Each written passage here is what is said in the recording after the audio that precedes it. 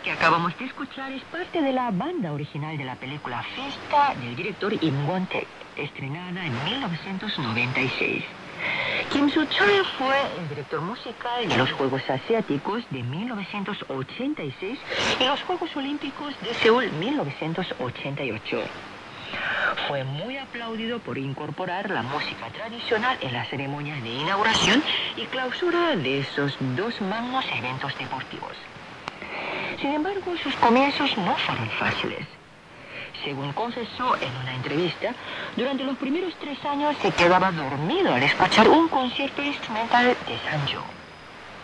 Por fin, publicó su primer álbum de música tradicional en 1987, que incluía la pieza premiada como música de danza, El mundo de los espíritus.